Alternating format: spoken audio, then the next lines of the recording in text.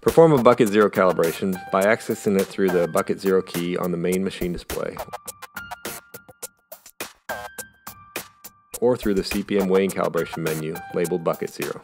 This is not intended to be done prior to loading each truck, but more so daily or on startup, after bucket changes, GET changes, to adjust for material carryback conditions or when not achieving desired accuracy. It is also considered to be part of the initial bucket calibration setup.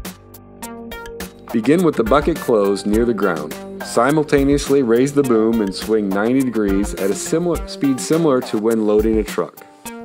And then lower the boom while swinging 90 degrees back to the starting position. Repeat this movement five times or until you see the word success on the display.